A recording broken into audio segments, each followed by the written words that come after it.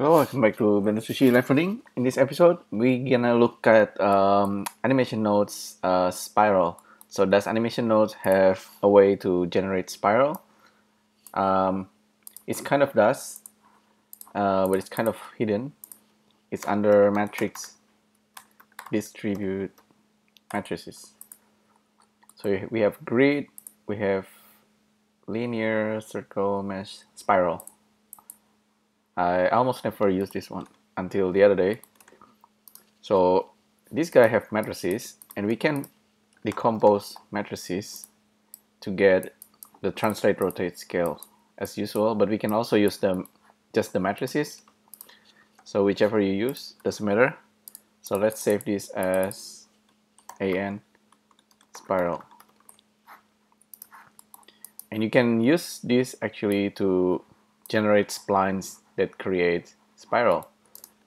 I haven't I have not tried that, but uh, let's try this first. Object matrix output and object transform output. So transform is seems like simpler, but matrix can do a lot more.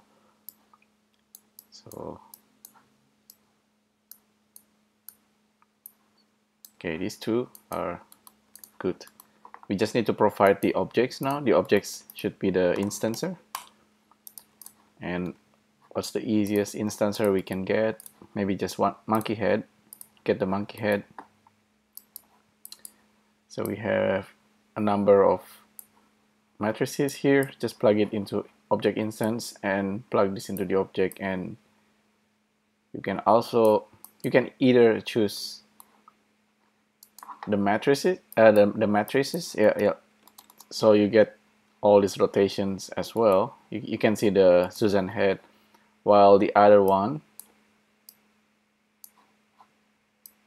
the other one is simply position it without changing the rotations. So that's with uh, all the rotations zero. That's with the rotations from the matrix so for this actually we don't need this. Simply use this guy right here. It's supposed to update. Oh it's already. Okay cool. Let's now test the the spiral itself. We have 100 points. Starting radius and radius. I think the AN spiral is very very pretty it's the perfect spiral. Um, I'll just add a randomness so it looks nicer. So star size, end size, that's actually affecting the scale. So that's pretty cool. You can see here it's it looks like a centipede. It's kind of nice like like that also. And you can kind of wind it, unwind it. This one add rotation I think. So you can control start angle and end angle but you wonder what if you want to kind of offset it up or down? How how are you gonna go about doing that? You can use uh, offset matrices I think in this case.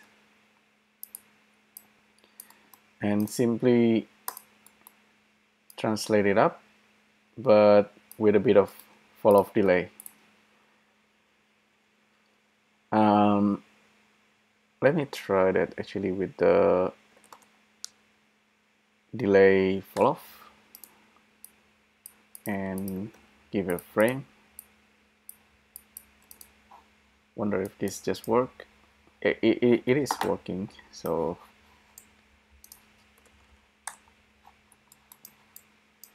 that's also kind of nice in itself. And if you ever want to rotate the matrices, I think you can also use uh, matrices math. So matrix math. This might work.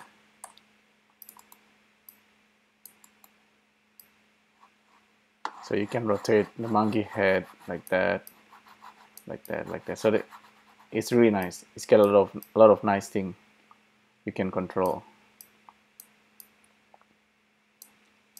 So I'm just I'm just gonna leave this to 000 scale 111 so that's uh, just another layer of things you can add. So this is the vertical motion what if you want the whole thing to be uh, you know instead of everything happening like this maybe you can use um, different kind of delay constant constant fall off.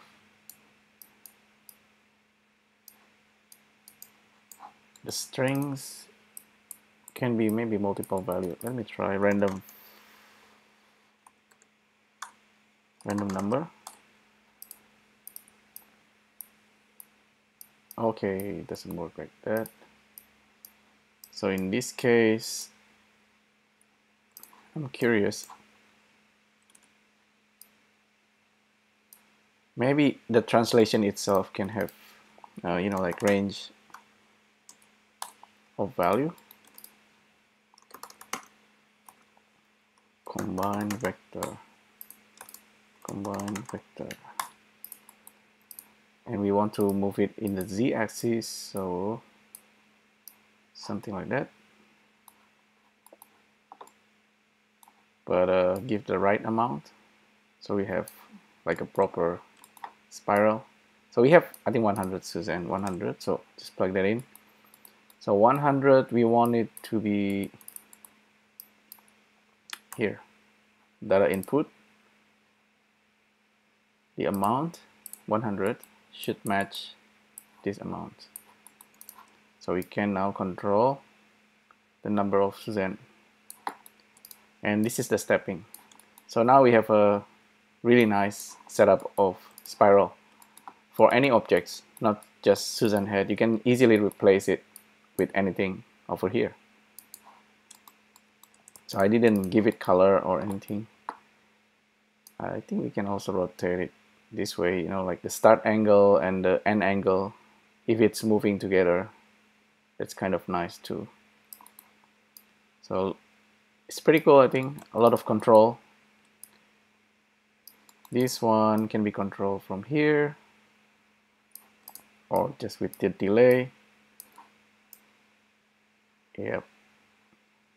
It's really nice. It's um procedural animations or any kind of motion being controlled with a value has never been easier I think.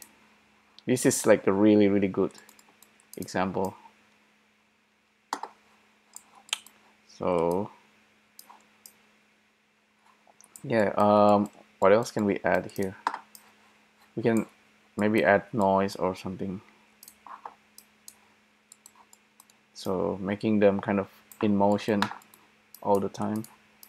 Maybe it's we can do it from here like matrix math and whatever, maybe add noise to the translations.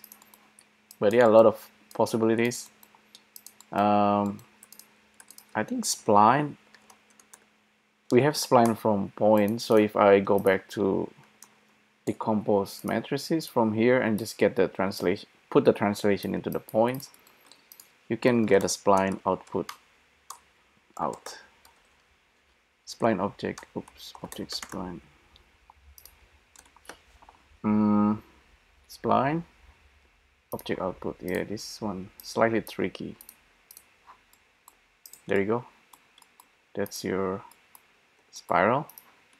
It's a spline so spline 3d you can control the bevel depth there you go pretty simple. It's still it has the I think it's not a smooth one. Oh because this spline probably it's like a separate parts. Yeah. So probably for this I will be using Sverchok but uh, you can do this using animation nodes if you like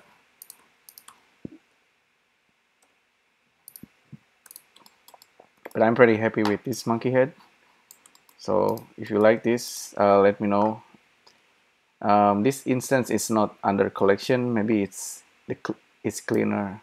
At some point I think animation nodes developer will put this under uh, the collections. So it's not uh, it's cleaner like this. So anyhow that's a uh, spiral and monkey head and animation nodes thank you very much for tuning in and I'll see you next time. Thank you. Bye